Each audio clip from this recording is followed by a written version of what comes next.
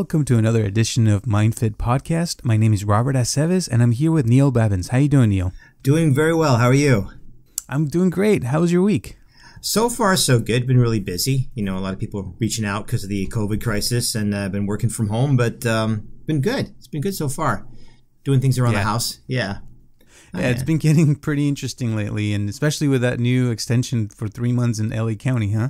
Oh my goodness! Now they're telling us. I did, did I hear it right? The ordinance that we have to put a mask on every time we leave the house. Is that? Yeah, yeah. Now it's a new thing, oh, and okay. there's a lot of businesses like Costco who made it into a policy now that you have to wear a mask if you want to go into their store. So it's mm-hmm. things are changing. That's for sure. yeah, In, into the store is one thing, but even like outside to go for a run, how do you put a mask on if it's like ninety degrees? I am kind of curious about that. How that works? Yeah, I don't know. Yeah. Yeah, because yeah, they're saying that you know if you're running and somebody you know walks right next to you and they have something, their germs could you know be behind them for about two meters or something like that, which yeah. is about uh, twelve feet or something. Right. So yeah, you definitely want to be you know stay away from people. Yeah. So. Yeah, just a, yeah. an adjustment, you know. Yeah, just yeah, I know. I know.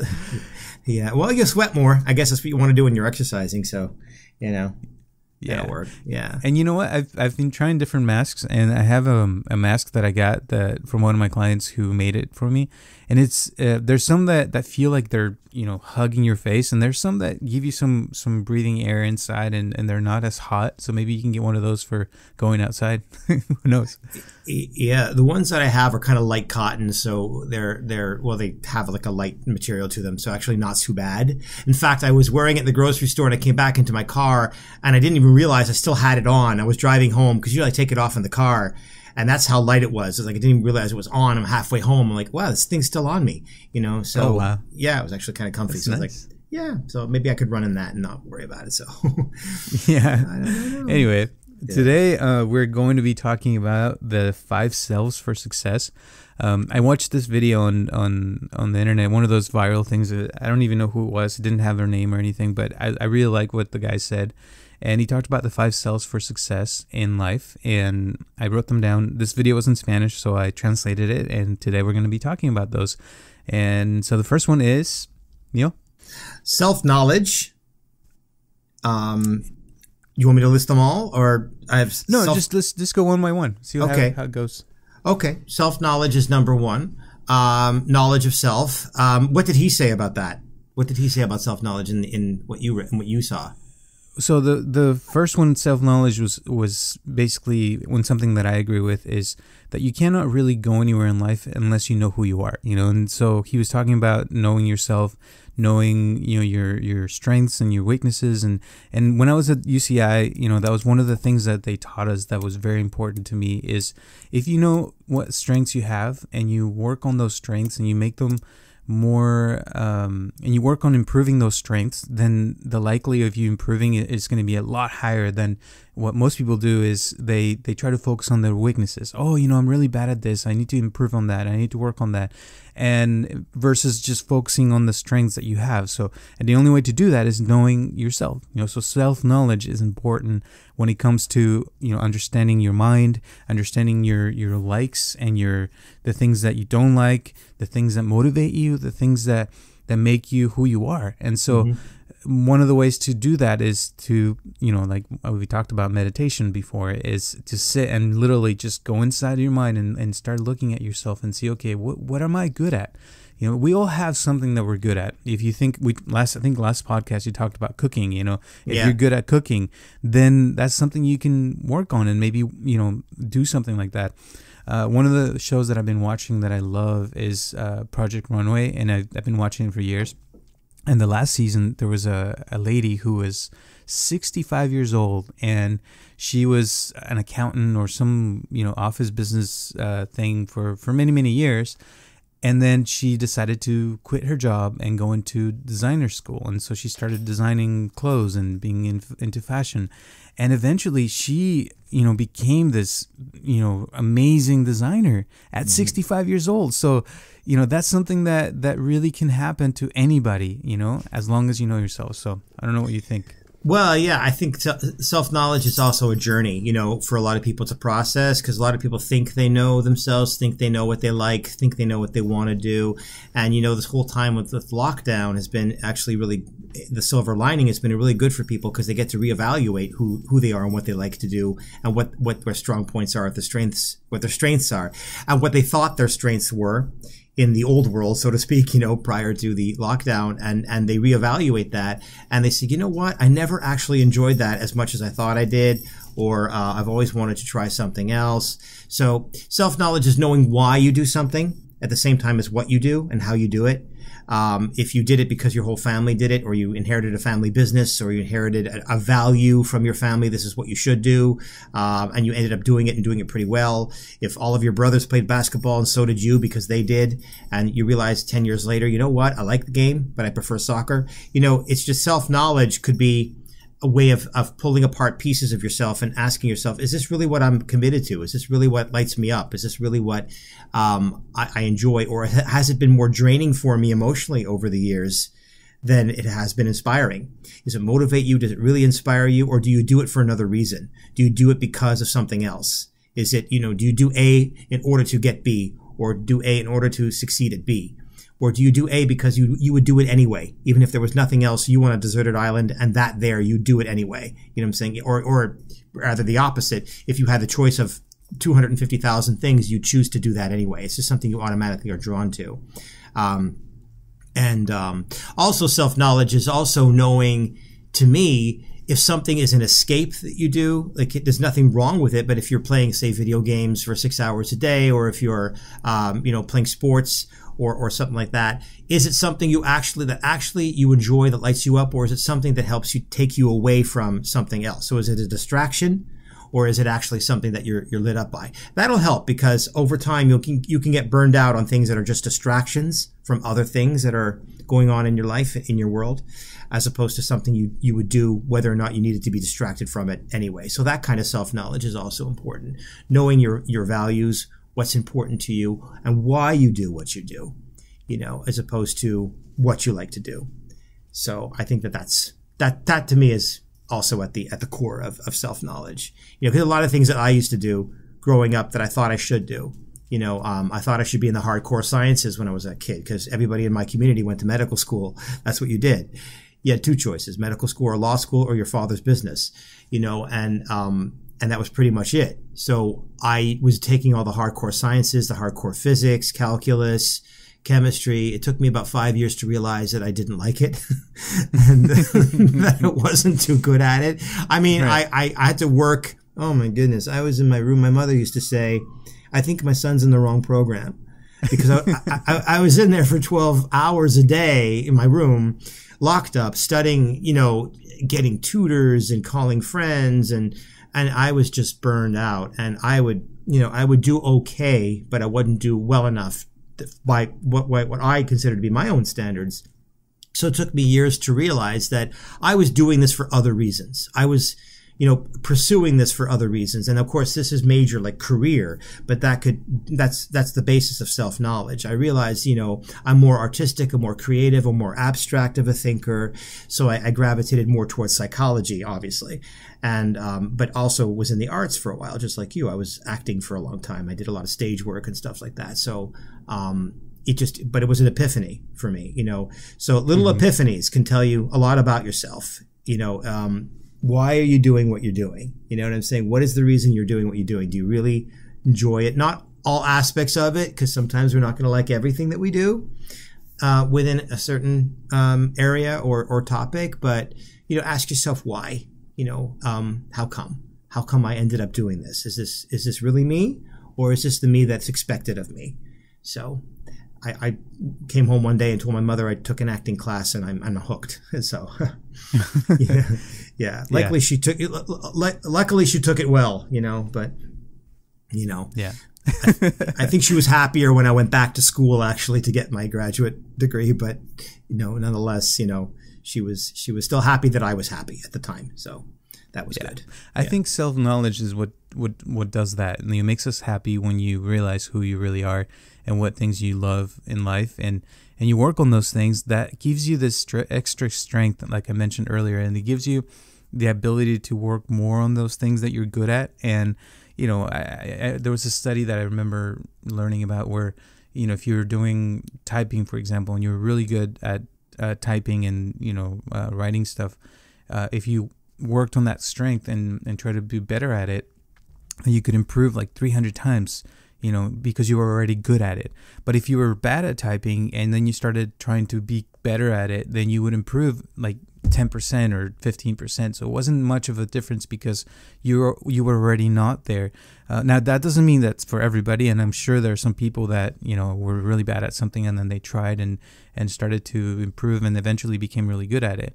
Uh, I'm talking more about you know how can you be more of what you already are and how to improve yourself in the things that you already are instead of trying to change yourself and be something you're not. It is possible. I mean, I'm not saying it's not. And part of like you mentioned, acting, we learn a lot about that is how to become something you're not. Mm-hmm. But even then, I tell you real quick, um, one of my teachers that I uh, when I was doing improv he um, he made us go around the room and everybody was you know telling everybody what they thought of them when they saw them. And so we all had this you know aura or thing that we portrayed right? We you know this is like what you look like. And sometimes what we look like is different from what um, we think of ourselves and we perceive ourselves to be. And and so to me that was that was something that was very insightful because you know if you're in, in in the world of acting if you're trying to be you know if i'm trying to be white and i'm really mexican then i may not be very successful at that. But if you know if i look mexican and i try to go for mexican roles then maybe i'm, I'm going to be more successful be, just because of that. Now that's a little superficial but it's still at the same time you know we're talking about what makes people successful in life and mm-hmm. that's one way to to look at it too. And so um, let's talk about the next one self-esteem. What do you uh-huh. think about that? Self-esteem. Wow that's a big one. Uh, a lot of people um, i work with a lot of clients of course and they always tell me that my self-esteem has been suffering lately and i always ask them what do you mean by that? Tell me what you mean by self-esteem. I get a lot of different definitions. So um, self-esteem you know I, I think self-esteem relates to what we are talking about earlier about self-knowledge, knowing why you do something or how come you do something. Is something truly light you up? Is something truly make you feel uh, like you have a sense of purpose? Um, you know, the question, who are you? Like you just said about acting. You know, one thing about acting is when we're, we're trying to be somebody else on stage, but actually another way of looking at it is we're trying to use a part of ourself on stage that we is maybe smaller and less of, of who we are actually, but we want to take that small part of us and expand it, amplify it, so it becomes the lead part of who we are. So that's who we're portraying on stage. So a lot of the characters that we play um, are actually already inside of us in some way, and we just have to sort of weave it together. So esteem could be a sense of what part of you shines the most, what part of you um, makes you feel like you have the strongest sense of purpose? What part of you um, makes you feel like you want to get up in the morning? You know that you want to accomplish something that gives you that gives you the best feedback, positive feedback from people. You know, I think the best compliment, and I'm not, I, I want to say this with delicacy because I don't want people to think I have a uh, major ego or anything. But when a client says, when a client says to me, there's a silence, and a client looks up at me and says, "You're good." You know, that's like the best feeling for me. Not because I'm good, but because they got something, you know, about the questions that we've been, I've been asking them or the work we've been doing. And when I, when they say I'm good, what they really mean is they got something about themselves. So they got a part of themselves that, um, you know, is, is that they've connected to. So, um, self-esteem, what do you do well? What gives you a sense of purpose? uh, what is a ser- of service to others that you get a lot of positive feedback from. Um, what is something that after you've accomplished it, you walk away feeling, yeah, that's that's that's what I, that's me. That's my identity. That's that's the that's the way I feel the most powerful, the most motivated. Um, and also, I think it's important with esteem, if I can say this, knowing what you aren't so um, of that, or or knowing what is not your strength. Um, in mine, it's it's it's sort of like technology. You know, like when it comes to developing podcasts, or um, you know, I'm not that great at the technical side of it. You know, it's just not my thing. I could learn and I could do it, and part of my esteem also is overcoming that heap that tells me I can't do it that voice in my head that says you're not good at this. You know, the part of me that can actually get it done and get it done fairly well. That's also increases esteem. Um, mm-hmm. But also knowing that it's okay. It's okay that you're not strong at everything. It's okay if you weren't the best athlete, even if you tried. It's okay if you're not um, mechanical and other people are. You know, it's okay that I need to call a plumber. I can't fix it myself. Uh, speaking of which, this morning, you know, someone came to my house. someone came to my house. I'm like, no, you can't be here. I've got to get on a podcast. Um, but I can't fix it myself. I mean, some people can. I know some people who can literally take it apart and put it back together. And like, wow, I, I wish I had that. Now, if again with Esteem, if I tried to do it, if I watched it on YouTube, if I really focused on it, if I made the time to do it, I could probably do a lot better than I think I could. So that's also Esteem. It's okay if you're not as good at something, but it's also okay if you do the best you can at something. You'd be surprised at what you could accomplish. That's also a sense of esteem. So it's sort of a spectrum, you know, knowing what you're good at, knowing what you're not good at, but not stopping simply because I'm not good at that, so I'm not going to do that. You know, that's that's that's that's that's my exploration of esteem. I would say, yeah.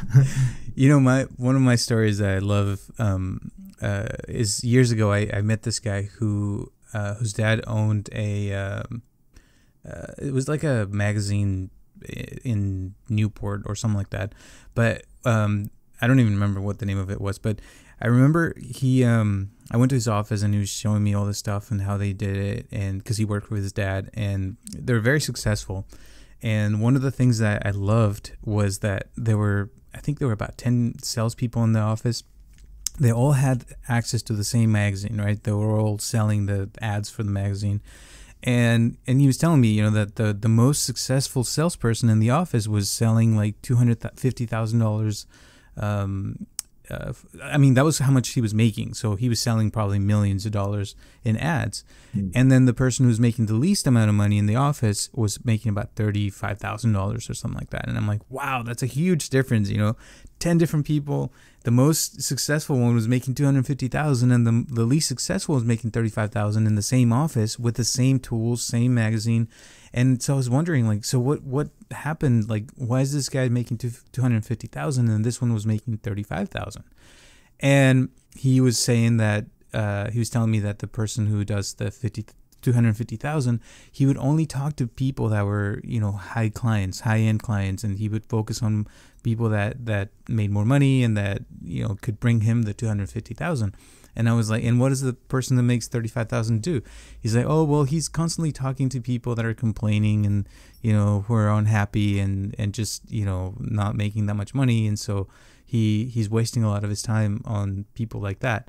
So therefore he doesn't make, you know, the, the 250,000. So to me, that was kind of an example of self-esteem because you know again they all had the same access to everything they nobody was stopping the guy who's making 35,000 from going after the big you know accounts and mm-hmm. the rich people they're mm-hmm. both in Newport you know they both had the same um, you know freedom and yet the self-esteem part of, it, of things sometimes is the thing that stops us from doing the things that we want to do and yeah. and and to me self-esteem is like how much we value ourselves and i always i think i mentioned this in one of the other podcasts and in spanish uh, the word for self-esteem is autoestima and mm-hmm. it's like self-esteem like like the how much we estimate you know it's a self-estimate how much do we estimate ourselves mm. to be worth what what's the value that we put in our our time and our are things that we do. And so this is really important because if you don't value yourself, then nobody else is going to value yourself as much as you could, you know? And if you devalue yourself, then you're probably not going to appreciate what people do for you sometimes. And so self esteem is important for everything. And uh, again, everybody has the same access to everything. We, we all have, you know, and I'm talking in the sense that we can cho- make choices and, and and yes maybe some people live in different countries that are not as you know advanced as we are here in the US and they don't have access to some other things. But as far as like how much we value ourselves it doesn't really matter if you don't have money or have money. I think it's more of a thing that you have like you said in, inside like your core values and and and you can still live you know a, a good life even though you may not have a lot of money and and be you know worth something you know Oh, absolutely, and I, I, as and I think that you know esteem and uh, self esteem and self knowledge are connected because a lot of times, like you said, someone who's earning thirty five thousand as opposed to somebody who's earning two hundred fifty thousand. Again, you want to examine what your values are. Did you are you earning two fifty because your your your family sort of gave you the values that you should earn that, or are you earning 35,000 because somebody along the line looking back at your um, your history in terms of esteem told you that you weren't good enough or you weren't adequate enough? Is that a belief a core belief that you're holding about yourself? So self-knowledge is important towards self-esteem also. When people tell me they have no self-esteem it's because their beliefs about themselves have somehow become distorted by uh, growing up. They were given a message. They internalized a message from somewhere that something about them was inadequate or less than. So they gravitate toward the people like you like you were talking about, who talk about their problems more, more problem focused, and hence don't pay them as much, don't compensate them as much, don't value them as much. So their own self worth, the the salesperson, will go down because they've internalized a message along the way that there's something less than about them. So self knowledge is knowing, wait a second, how do I know this about myself? How do I know that that's true? How do I know that I'm less than? How do I know that I, am not as good as somebody else? So, what are, what are you good at and what are you not? The question you also want to ask yourself is, how do I know that? How do I know I'm not good at closing the deal? How do I know I'm not good at running a big business? How do I know I'm not good at attracting rich customers if that's what I want to attract? You know, um, right. so that's a very important question. What are your core beliefs about yourself and where do they come from? Where did they come from? How did they get there? Because I always tell people, you were not born with them. You weren't born with core beliefs. You were born with the template to create them, to generate them, but you weren't born with them. So where did they come from? And that'll also give you access to your own esteem and your and your mm-hmm. own self knowledge. Yeah. Mm-hmm. yeah. Yeah. Awesome. Um, next one is self regulation. Self regulation is also important because you know it's an it's a it's a way of controlling our own behavior, our emotions, and our thoughts in the pursuit of long term goals. So things that we want, you know, if we can regulate self regulate ourselves and say, okay, I need to do this, and I'm going to do whatever it takes. You know, if if my goal is to run a marathon, I am going to have to you know wake up every morning and run five miles every day for five days and then I'm gonna do one long run uh, per week and and and you do it you know and true there may be some days where you know you feel like oh my gosh you know I don't want to get up in the morning it's too cold or it's raining or you know oh I didn't sleep well last night but whatever the the reason may be you want to get back on your feet and you know regulate your behavior and say okay I, I promised myself I was going to do this and then you do it again and then do it and again and again and again until you run the marathon which you know could take months to train. But uh, the feeling that comes from after running that marathon is just unbelievable you know? And that's just an example but it could be anything you want in your life. You know you if you regulate yourself and and say okay I need to do this and control your emotions and control everything you you need to do in order to accomplish that, then the chances of you getting it are going to be much higher. So. Yeah, yeah. Reg- self-regulation also is, um, you know, mindfulness, which is a really big movement right now, and being in the here yes. and now. You know, meditation, um, and um, regulation is when we there's a difference between i tell this a lot to people our visceral response our emotional response and our reaction. So we have a, uh, an emotional rea- response to a lot of triggers around us a lot of things that activate us around us. And then we have a, a reaction which is our action and behavior that follows so there's a difference between how we feel in a moment and what we do. So there's a there's a, a brief period of time, sometimes only a few milliseconds in between when we have an emotional response to something, a visceral response in our body to a reaction to what we do. There's sometimes a very small period of time. And in that time, that's when we can regulate. That's when we can ask ourselves, okay, someone just said something to me that irritated, that I got frustrated. There was a vis- visceral response of frustration. What am I going to do with that frustration? Am I going to be with the frustration, which only lasts, by the way, for about 90 seconds if you just let a feeling be? Um, am I going to be with the frustration and self soothe? Or am I going to say something? Now, it, there's no right answer, but the reaction, whether you're going to say something or do something, has to do with allowing yourself to be with the feeling gives you the freedom to choose. Do I want to be with this frustration or whatever it may be? Or do I want to say something or advocate for my feelings? But now you have a choice. If you could sit with the feeling, then you could choose. If you can't sit with the feeling, you're going to definitely react. You're definitely going to try to um, manage the feeling by telling somebody off or by leaving the room or by shutting somebody out or by uh, overreacting or by doing whatever you do. And that's, you know, that could topple your success. I mean, if you're the boss, okay, you could yell at people in the room and no one's going to fire you. But most people have to climb a ladder of some sort. Most people have somebody to answer to in some capacity. So emotional regulation becomes important to know when is it time, even as a, as a leader, even if you're the boss, even if you are your own sole proprietor, knowing when to say something, knowing how to say it, you know, regulating yourself so that you don't just jump into the modus operandi that you typically have when you have a visceral response. That's that's the I know that later on we'll talk about leadership as the is the fifth one, but that's also part of strong leadership, self leadership, is knowing how to regulate yourself, knowing how to knowing how to speak to people even when they are upsetting you, even when you are upset about a situation. You know, th- this morning, this morning, my uh, plumber came by my house, was supposed to come after 10 after we'd done our taping. He came uh, 15 minutes before we started. Now, I was, yes, I was annoyed. I was frustrated. Did I say something? No. I decided to self soothe. It'll be gone in 90 seconds. Just go about doing what you're doing.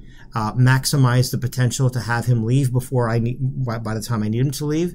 And that's exactly what I did. So, but sometimes I might say, if he's going to like linger, I might have said, you know, I appreciate the fact that you're here, but I had requested somebody come at this time rather than this time. And I really have something I have to do and I can't have somebody else in the space. You know what I mean? But I, I was able to choose how to regulate my feelings. I didn't just get upset and like, heaven forbid, slam the door on his face or something like that, or call up my, you know, uh, yeah. office and say, how come you sent somebody at the wrong time? I mean, I could do that, but right that's that to me that that was not the way that I wanted to regulate, not the way I wanted to to run my day. So, mm-hmm. you know, yeah. So that's what that's I awesome. think about it. Yeah. Yeah, and I, I that's that's really uh, what this is about. It's having that choice to, okay, I'm gonna take 90 seconds to to breathe and and to take this, you know, reframe myself in the situation and try to take the advantage of it as much as I can. So, and that has to do with the next one, by the way, which is uh, self motivation. Mm-hmm. It's also important to to keep yourself, you know, motivated and to you know keep yourself creative and, and, be able to develop things in your mind and you know uh, produce things that, that make you happy and we know we know ourselves you know again if you if you have the self knowledge and the self esteem and you self regulate then you can also know what motivates you and and use more of that so you can you know move along the things that that make you happy and that that make you want to you know get out of bed in the morning and the, the things that make you want to run that marathon and you know have some goals for you know short term and long term. Think about you know uh, the things that that move you from from the inside and and and and do that you know because you really uh, there's no one more important than you and and and if you know yourself and you know what motivates you then you really have the key to do anything you know and that's what mm-hmm. i think i don't know what your take is on that on self motivation. Um, you know, a lot of people say they, they can't get motivated. They say that's a, that's a common problem, but there's a great quote by Marianne Williamson that I love that sort of speaks into it. And she says, Our deepest fear is not that we are inadequate. Our deepest fear is that we are powerful beyond measure. It is our light, not our darkness, that most frightens us.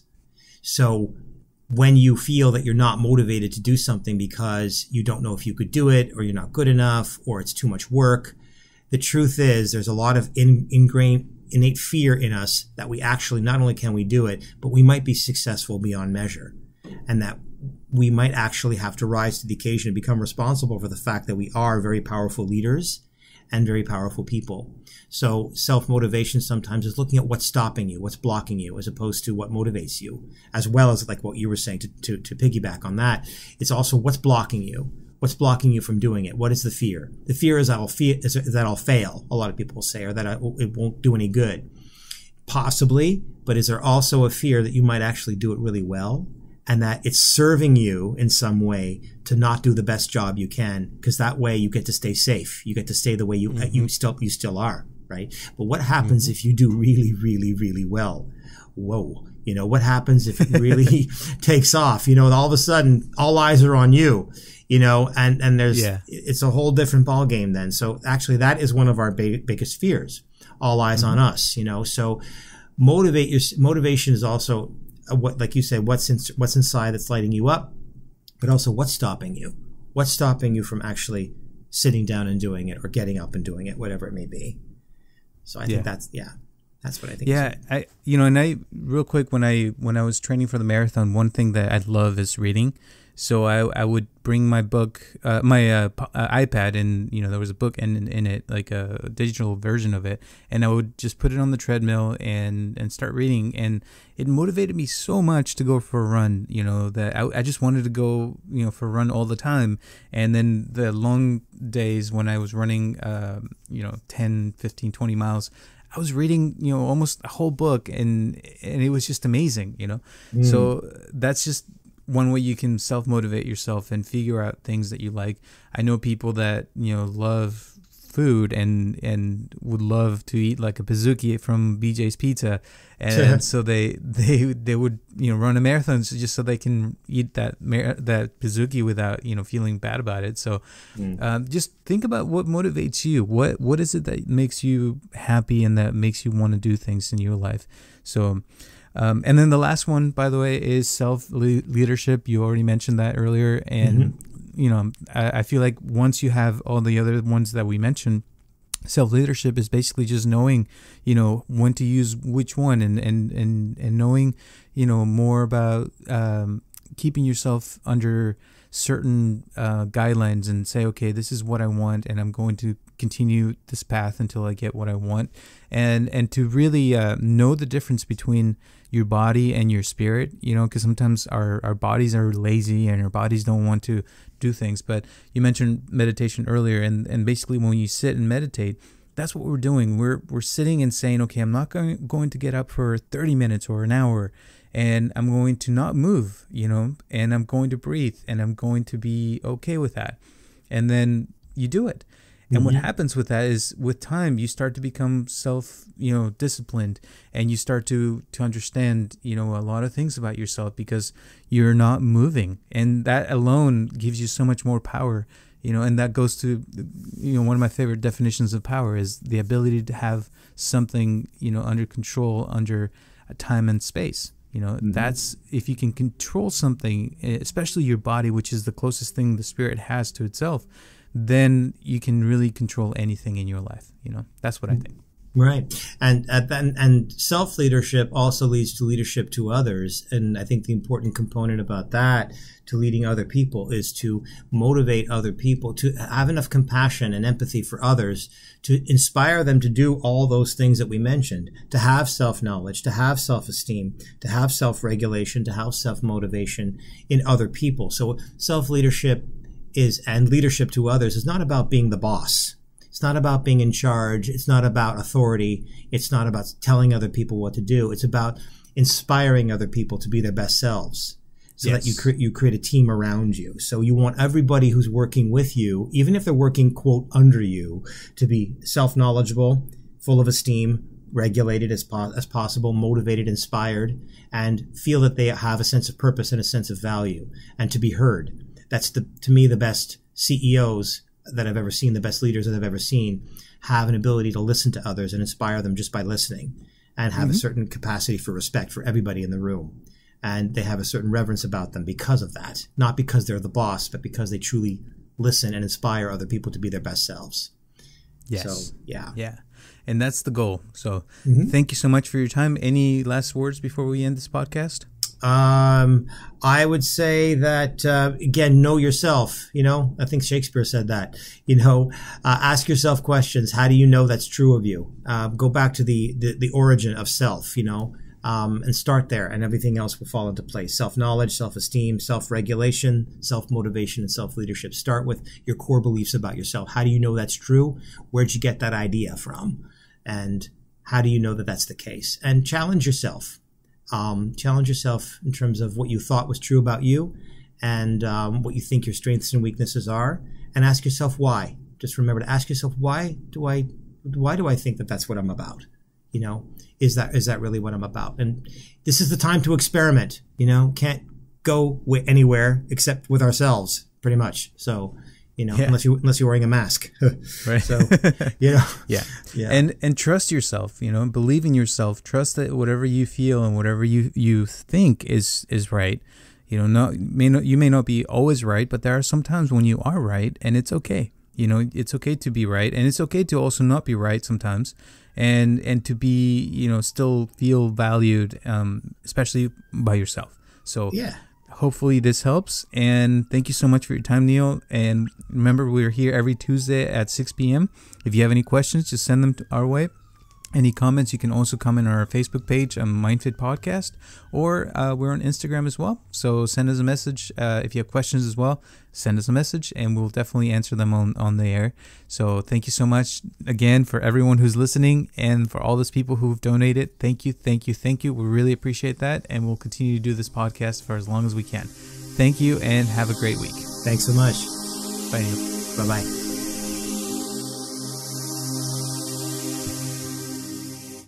This podcast is brought to you by MindFit. Please help us to share this podcast with your friends and family to grow this community.